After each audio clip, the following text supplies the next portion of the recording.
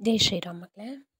ಮಕ್ಕಳೇ, ಕಳೆದ ವಾರ ನಾವು ವೀರ ಅಭಿಮನ್ಯು ಪಾಠ ಹನ್ನೊಂದು, ವೀರ ಅಭಿಮನ್ಯು ಈ ಪಾಠದ ದೃಶ್ಯ ಒಂದರ ಬಗ್ಗೆ ನಾವು ನೋಡಿದ್ದೆವು ಅಲ್ವಾ?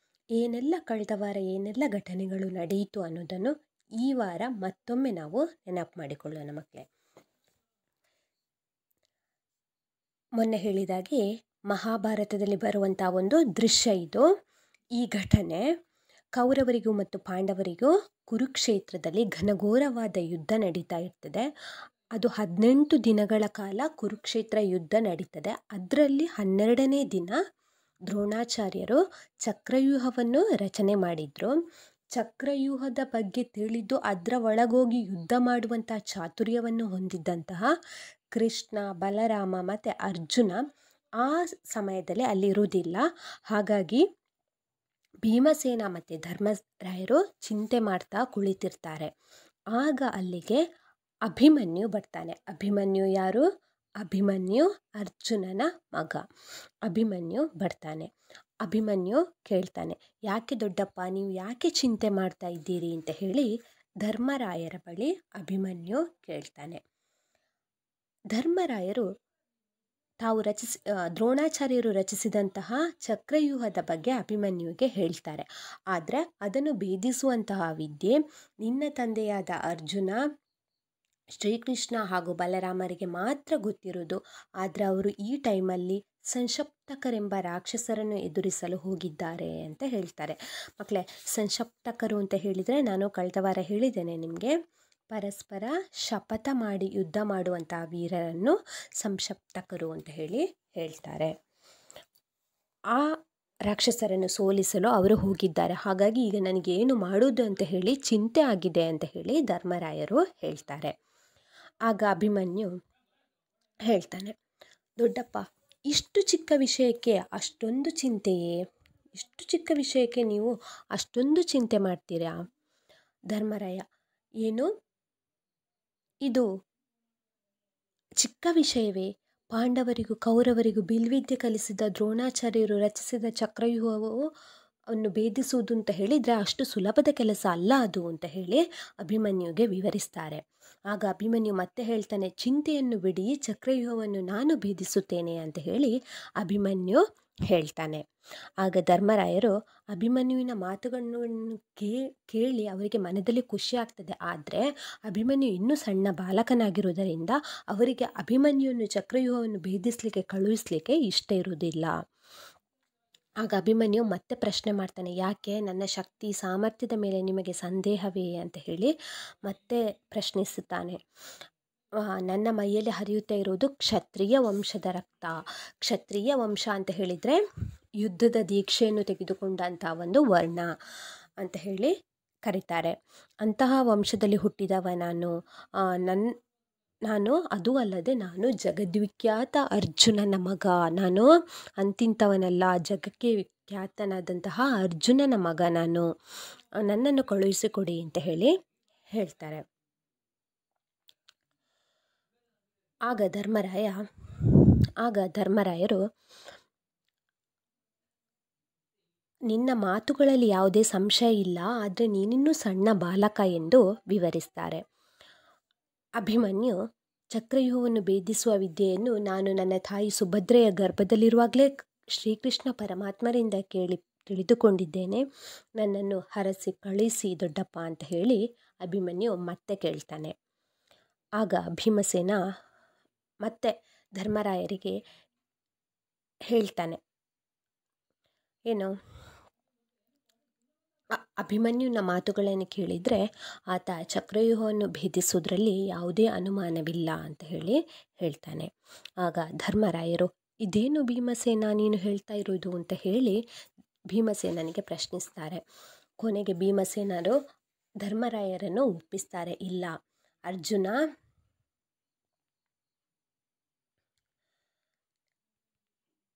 ಅಭಿಮನ್ಯು ಏನು ಚಕ್ರವ್ಯೂಹವನ್ನು ಭೇದಿಸುವುದರಲ್ಲಿ ಯಾವುದೇ ಸಂಶಯ ಇಲ್ಲ ಅಂತ ಹೇಳಿ ಭೀಮಸೇನ ಧರ್ಮರಾಯರಿಗೆ ಒಪ್ಪಿಸ್ತಾರೆ. ಕೊನೆಗೆ ಧರ್ಮರಾಯರು ಭೀಮಸೇನನ ಮಾತಿನಂತೆ ಅಭಿಮನ್ಯುವನ್ನು ಯುದ್ಧಕ್ಕೆ ಕಳುಹಿಸಲು ಒಪ್ಪಿಗೆಯನ್ನು ಕೊಡ್ತಾರೆ. ಹಾಗೆ ಯುದ್ಧರಂಗದಲ್ಲಿ ಅಭಿಮನ್ಯುವಿಗೆ ನಾವು ರಕ್ಷಾ ಕವಚದಂತಿರೋಣ ಅಂದರೆ ಒಂದು ಉಕ್ಕಿನ ಅಂಗಿ ಅದಕ್ಕೆ ಏನಾದರೂ ಏನೂ ಆಗೋದಿಲ್ಲ, ಏನು ಮಾಡಿದರೂ ಏನೂ ಆಗೋದಿಲ್ಲ. ಆ ರೀತಿ ನಾವು ಅಭಿಮನ್ಯುವಿಗೆ ಇರೋಣ ಅಂತ ಹೇಳಿ ಒಪ್ಪಿಗೆಯನ್ನು ಕೊಡ್ತಾರೆ. ಆದ್ದರಿಂದ ಬಹಳ ಸಂತೋಷಗೊಂಡಂತಹ ಅಭಿಮನ್ಯು ದೊಡ್ಡಪ್ಪ ಧರ್ಮರಾಯ ಹಾಗೂ ಭೀಮಸೇನರ ಪಾದಗಳಿಗೆ ನಮಸ್ಕರಿಸಿ ಅಲ್ಲಿಂದ ಹೊರಡ್ತಾನೆ. ಇಷ್ಟು ಆಗಿದೆ ಅಲ್ಲ ಮಕ್ಕಳೇ? ಇವತ್ತು ದೃಶ್ಯ ಎರಡರಲ್ಲಿ ಏನೆಲ್ಲ ಆಯಿತು ಅಂತ ನೋಡುವ. ಸುಭದ್ರೆಯ ಅರಮನೆ. ಅಭಿಮನ್ಯು ತನ್ನ ತಾಯಿ ಸುಭದ್ರೆಯ ಪಾದಗಳಿಗೆ ಎರಗುವನು. ಸುಭದ್ರೆಯ ಅರಮನೆಗೆ ಬರ್ತಾನೆ. ಸುಭದ್ರೆಯಾರು ಅರ್ಜುನನ ಹೆಂಡತಿ ಅಭಿಮನ್ಯುವಿನ ತಾಯಿ. ಆತಳ, ಆತ ಬಂದು ಸುಭದ್ರೆಯ ಪಾದಗಳಿಗೆ ನಮಸ್ಕಾರ ಮಾಡ್ತಾನೆ ಅಭಿಮನ್ಯು. ಅಮ್ಮ, ಈ ದಿನ ನಾನು ಕುರುಕ್ಷೇತ್ರ ಯುದ್ಧದಲ್ಲಿ ಚಕ್ರವ್ಯೂಹವನ್ನು ಭೇದಿಸಲು ದೊಡ್ಡಪ್ಪಂದಿರಾದ ಧರ್ಮರಾಯ ಹಾಗೂ ಭೀಮಸೇನರಿಂದ ಆಶೀರ್ವಾದ ಪಡೆದು ಬಂದಿದ್ದೇನೆ. ನೀನು ನನ್ನನ್ನು ಹರಸಿ ಕಳುಹಿಸಿಕೊಡು. ಅಭಿಮನ್ಯು ಕೇಳ್ತಾನೆ, ಅಮ್ಮ, ನಾನು ಈ ದಿನ ಕುರುಕ್ಷೇತ್ರ ಯುದ್ಧದಲ್ಲಿ ಚಕ್ರವ್ಯೂಹವನ್ನು ಭೇದಿಸಲು ದೊಡ್ಡಪ್ಪಂದಿರಾದ ಧರ್ಮರಾಯ ಹಾಗೂ ಭೀಮಸೇನರಿಂದ ಆಶೀರ್ವಾದವನ್ನು ಪಡೆದು ಬಂದಿದ್ದೇನೆ. ನೀನು ನನ್ನನ್ನು ಹರಸಿ ಕಳುಹಿಸಿಕೊಡಬೇಕು ಅಂತ ಹೇಳಿ ಹೇಳ್ತಾನೆ. ಅಷ್ಟೊತ್ತಿಗೆ ಸುಭದ್ರೆಗೆ ದಿಗ್ಭ್ರಾಂತಳಾಗ್ತಾಳೆ. ಯಾರು? ಸುಭದ್ರೆ ದಿಗ್ಭ್ರಾಂತಳಾಗ್ತಾಳೆ. ದಿಗ್ಭ್ರಾಂತಳಾಗಿ, ಏನು ಕಂದ? ನೀನು ಯುದ್ಧರಂಗಕ್ಕೆ ಹೋಗುವೆಯಾ? ಅಲ್ಲಿ ಚಕ್ರವ್ಯೂಹವನ್ನು ಭೇದಿಸುವೆಯಾ? ಅಂತ ಕೇಳಿ, ಕೇಳ್ತಾಳೆ. ಅವಳು ಗಾಬರಿಗೊಂಡು ಕೇಳ್ತಾಳೆ. ಏನು? ನೀನು ಯುದ್ಧರಂಗಕ್ಕೆ ಹೋಗುವೆಯಾ? ಅಲ್ಲಿ ಚಕ್ರವ್ಯೂಹವನ್ನು ನೀನು ಭೇದಿಸ್ತೀಯಾ? ಅಂತ ಹೇಳಿ ಹೇಳ್ತಾಳೆ. ಆಗ ಅಭಿಮನ್ಯು, ಯಾಕಮ್ಮ? ಈ ಸುಭದ್ರಾನಂದನ ವೀರ ಅಭಿಮನ್ಯುವಿನ ಮೇಲೆ ನಿನಗೆ ಸಂದೇಹವೇ?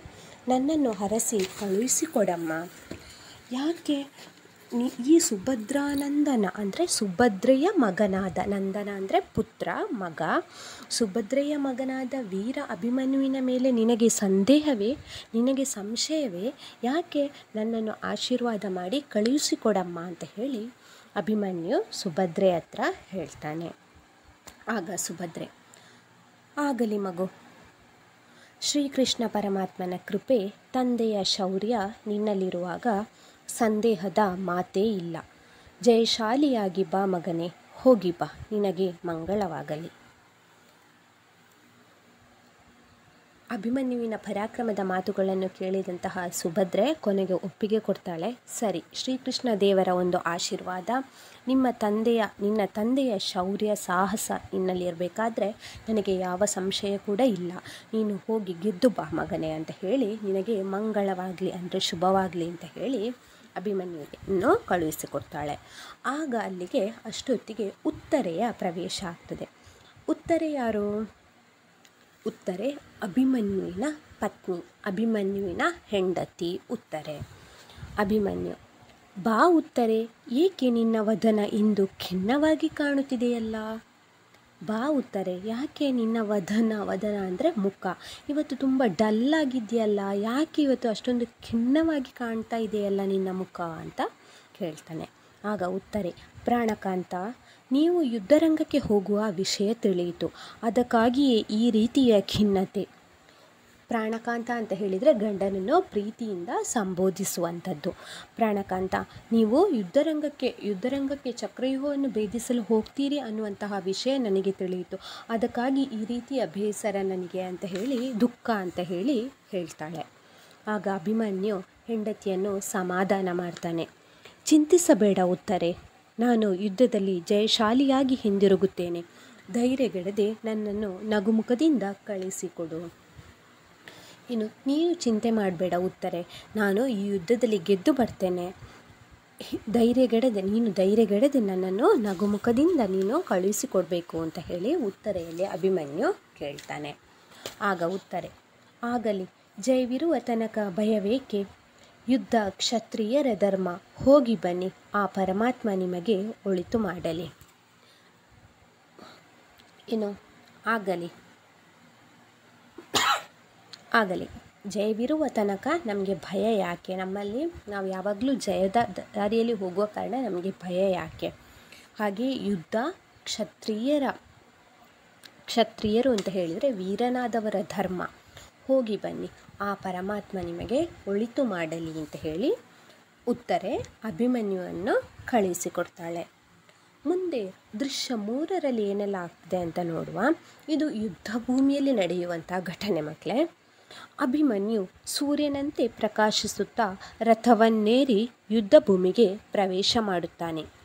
ಅಭಿಮನ್ಯು ಸೂರ್ಯನಂತೆ ಪ್ರಕಾಶಿಸುತ್ತಾ ಅಂದರೆ ರಥದ ಮೇಲೆ ಕೂತು ಸೂರ್ಯನಂತೆ ಹೊಳೆಯುತ್ತಾ ನಕ್ಷತ್ರದ ರೀತಿ. ಸೂರ್ಯನಂತೆ ಹೊಳೆಯುತ್ತಾ ಆತ ಯುದ್ಧ ಭೂಮಿಗೆ ಪ್ರವೇಶ ಮಾಡ್ತಾನೆ ಯುದ್ಧ ಭೂಮಿಗೆ ಬರ್ತಾನೆ. ಅಭಿಮನ್ಯು ಸಾರಥಿಯನ್ನು ಕುರಿತು. ಸಾರಥಿ ಅಂತ ಹೇಳಿದರೆ ರಥವನ್ನು ಮುನ್ನಡೆಸುವವ, ರಥವನ್ನು ನಡೆಸುವವ ಸಾರಥಿ. ಸಾರಥಿಯನ್ನು ಕುರಿತು. ಸುಮಿತ್ರಾ ಆದಷ್ಟು ಬೇಗ ನನ್ನನ್ನು ದ್ರೋಣಾಚಾರ್ಯರು ರಚಿಸಿರುವ ಚಕ್ರವ್ಯೂಹದ ಕಡೆಗೆ ಕರೆದುಕೊಂಡು ಹೋಗು. ಆ ರಥವನ್ನು ನಡೆಸುವಂತಹ ಸಾರಥಿಯ ಹೆಸರು ಸುಮಿತ್ರಾ ಅಂತ ಹೇಳಿ. ಆದಷ್ಟು ಬೇಗ ನೀನು ನನ್ನನ್ನು ದ್ರೋಣಾಚಾರ್ಯರು ರಚಿಸಿರುವ ಚಕ್ರವ್ಯೂಹದ ಕಡೆಗೆ ಕರೆದುಕೊಂಡು ಹೋಗು ಅಂತ ಹೇಳಿ ಹೇಳ್ತಾನೆ. ಹಾಗೆ ಭೀಮನೊಂದಿಗೆ ಪಾಂಡವರ ಸೈನ್ಯವು ಅಭಿಮನ್ಯುವನ್ನು ನೆರಳಿನಂತೆ ಹಿಂಬಾಲಿಸಿ ಬರುತ್ತದೆ. ಭೀಮನೊಂದಿಗೆ ಪಾಂಡವರ ಸೈನ್ಯ ಅಭಿಮನ್ಯುವನ್ನು ನೆರಳಿನಂತೆ ಹಿಂಬಾಲಿಸಿ ಬರ್ತದೆ. ಅಭಿಮನ್ಯು, ಆಗ ಅಭಿಮನ್ಯು ಹೇಳ್ತಾನೆ, ಬನ್ನಿರಿ ಬನ್ನಿರಿ, ಒಬ್ಬೊಬ್ಬರಾಗಿ ಬನ್ನಿ. ನಿಮ್ಮನ್ನೆಲ್ಲ ತರೆಗೆಳೆಗಳಂತೆ ತೂರಿ ಯಮಪುರಕ್ಕೆ ಕಳುಹಿಸುತ್ತೇನೆ. ಬನ್ನಿ ಬನ್ನಿ, ಒಬ್ಬೊಬ್ಬರಾಗಿ ಬನ್ನಿ. ನಿಮ್ಮನ್ನೆಲ್ಲ ತರೆಗೆಲೆಗಳಂತೆ ಅಂದರೆ ಒಣಗಿದ, ಮರದಲ್ಲಿ ಒಣಗಿದ ಎಲೆಗಳು ಹೇಗೆ ಬೀಳ್ತವೋ ತರೆಗೆಲೆಗಳು ಅವುಗಳಂತೆ ನಿಮ್ಮನ್ನು ಕೂಡ ನಾನು ಯಮಪುರಕ್ಕೆ ಕಳುಹಿಸ್ತೇನೆ ಅಂದರೆ ನಿಮ್ಮ ತಲೆಗಳನ್ನೆಲ್ಲ ಕಡಿದು ನಾನು ಯಮಪುರ ಅಂದರೆ ಯಮನ ವಾಸಸ್ಥಾನ, ಯಮಪುರ, ಮೃತ್ಯುಲೋಕ. ಯಮಪುರಕ್ಕೆ ನಾನು ನಿಮ್ಮನ್ನು ಕಳಿಸ್ತೇನೆ ಅಂತ ಹೇಳಿ ಅಭಿಮನ್ಯು ಹೇಳ್ತಾನೆ. ದ್ರೋಣ, ಕರ್ಣ ಹಾಗೂ ಇತರ ಕೌರವ ಸೇನೆ ಸೇರಿ ಅಭಿಮನ್ಯುವಿನ ವೀರಾವೇಶ ನೋಡಿ ಆತನನ್ನು ಮುಗಿಸಲು ತಂತ್ರ ಹೂಡುವರು. ವೀರಾವೇಶದಿಂದ ಹೋರಾಡುತ್ತಿರುವಾಗ ಕೌರವರು ಹಿಂದಿನಿಂದ ಬಂದು ಅಭಿಮನ್ಯುವಿನ ಕೈಗಳನ್ನು ಕತ್ತರಿಸುವರು. ಏನು? ದ್ರೋ, ಅಭಿಮನ್ಯು ಅತ್ಯಂತ ವೀರಾವೇಶದಿಂದ ಹೋರಾಡುವುದನ್ನು ನೋಡಿದಂತಹ ದ್ರೋಣ, ಕರ್ಣ ಮತ್ತು ಇತರ ಕೌರವ ಸೇನೆಯವರಿಗೆ ಅಭಿಮನ್ಯು ಈಗ ಚಕ್ರದ ವ್ಯೂಹದೊಳಗೆ ಹೋಗಿ ಚಕ್ರವ್ಯೂಹವನ್ನು ಭೇದಿಸಿ ನಮ್ಮನ್ನು ಸೋಲಿಸಿಬಿಡ್ತಾನೆ ಅನ್ನುವಂಥ ಒಂದು ಭಯ ಆವರಿಸ್ತದೆ. ಹಾಗಾಗಿ ಆತನನ್ನು ಹೇಗಾದರೂ ಮಾಡಿ ಸಾಯಿಸಬೇಕು, ಮುಗಿಸಬೇಕು ಅಂತ ಹೇಳಿ ಒಂದು ತಂತ್ರವನ್ನು ಹೂಡ್ತಾರೆ. ತಂತ್ರ ಅಂದರೆ ಉಪಾಯ. ಉಪಾಯವನ್ನು ಮಾಡ್ತಾರೆ. ವೀರಾವೇಶದಿಂದ ಹೋರಾಡುತ್ತಿರುವಾಗ ಯಾರು? ಅಭಿಮನ್ಯು ವೀರಾವೇಶದಿಂದ ಹೋರಾಡುತ್ತಿರುವಾಗ ಹಿಂದಿನಿಂದ ಬಂದಂತಹ ಕೌರವರು ಏನು ಮಾಡ್ತಾರೆ? ಅಭಿಮನ್ಯುವಿನ ಕೈಗಳನ್ನು ಕತ್ತರಿಸ್ತಾರೆ, ತುಂಡು ಮಾಡ್ತಾರೆ. ಆಗ ಅಭಿಮನ್ಯು ಹೇಳ್ತಾನೆ, ನೋಡಿ ರಣ ಹೇಡಿಗಳೇ ತಾಯಿಯ ಹಾಲುಂಡ ಯಾವುದೇ ಕ್ಷತ್ರಿಯ ಈ ಕೆಲಸ ಮಾಡಲಾರ. ವೀರಾವೇಶದಿಂದ ಎದುರಿಸಿ ಹೋರಾಡಿ ಸತ್ತು ಸ್ವರ್ಗ ಸೇರುವುದನ್ನು ಬಿಟ್ಟು ನರಕದ ದಾರಿ ಹಿಡಿಯುತ್ತೀರಾ? ನಿಮಗೆ ಧಿಕ್ಕಾರವಿರಲಿ. ಏನು ರಣ ರಣಹೇಡಿಗಳು ರಣ ಹೇಡಿಗಳು ಅಂತ ಹೇಳಿದರೆ ಎದುರು ಪುಕ್ಕರು. ಅಂದರೆ ಅವರು ಎದುರುಗಡೆ ಯುದ್ಧ ಮಾಡಲಿಕ್ಕೆ ಹೆದರ್ತಾರೆ. ಹಿಂದುಗಡೆಯಿಂದ ಬಂದು ಏನಾದರೂ ತಂತ್ರ ಮಾಡಿಕೊಂಡು ಯುದ್ಧ ಮಾಡುವಂಥವ್ರು. ಅದಕ್ಕೆ ಹೇಳೋದು ಈಗ ಅಭಿಮನ್ಯುವಿನ ಕೈಗಳನ್ನು ಹಿಂದುಗಡೆಯಿಂದ ಬಂದು ತುಂಡು ಮಾಡಿದ್ದಲ್ಲ, ಕಟ್ ಮಾಡಿದ್ರಲ್ಲ, ಹಾಗಾಗಿ ಅಭಿಮನ್ಯು ಅವರಿಗೆ ಹೇಳ್ತಾನೆ ರಣ ಹೇಡಿಗಳು ನೀವು ಏನೋ ತಾಯಿಯ ಹಾಲುಂಡ, ತಾಯಿಯ ಹಾಲನ್ನು ಕುಡಿದಂಥ ಯಾವುದೇ ಕ್ಷತ್ರಿಯ, ಕ್ಷತ್ರಿಯರಂದರೆ ವೀರರಾದವರು. ಯಾರೂ ಕೂಡ ಈ ಕೆಲಸ ಮಾಡಲಾರರು.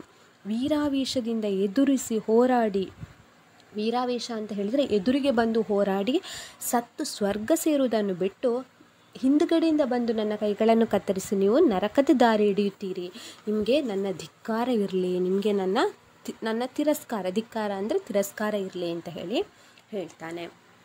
ಆಗ ದುರ್ಯೋಧನ ಇನ್ನೊಂದು ಸಲಹೆ ಕೊಡ್ತಾನೆ. ಸೈಂಧವ ರಾಜ ಬಿಡಬೇಡ, ಹೊಡೆ. ಕರ್ಣ, ಜಯದ್ರಥ, ನೀವೆಲ್ಲರೂ ಅವನ ಮೇಲೆ ಒಟ್ಟಾಗಿ ಬೀಳಿರಿ. ಏನು ಬಿಡಬೇಡ ಅವನನ್ನು, ಹೊಡೆ ಅವನ. ಹೊಡೆ, ಕರ್ಣ, ಜಯದ್ರಥ, ನೀವೆಲ್ಲರೂ ಅವನ ಮೇಲೆ ಒಟ್ಟಾಗಿ ಬೀಳಿರಿ. ಆಗ ಅವನಿಗೆ ಏನೂ ಮಾಡಲಿಕ್ಕೆ ಆಗೋದಿಲ್ಲ ಅಂತ ಹೇಳಿ ಹೇಳ್ತಾನೆ. ಆದರೂ ಕೂಡ ಅಭಿಮನ್ಯು ಏನು ಮಾಡ್ತಾನೆ? ರಥದ ಚಕ್ರವನ್ನು ಒಂದು ಕೈಯನ್ನು ತುಂಡು ಮಾಡಿ ಕೈಗಳನ್ನು ಕಟ್ಟು ತುಂಡು ಮಾಡಿದ್ರೂ ಸಹ ಏನು ಮಾಡ್ತದೆ? ರಥದ ಚಕ್ರವನ್ನು ಕೈಗೆ ಹಾಕಿಕೊಂಡು ಕೈಯಲ್ಲಿ ತಿರುಗಿಸಿ ವೀರಾವೇಶದಿಂದ ಹೋರಾಡ್ತಾನೆ.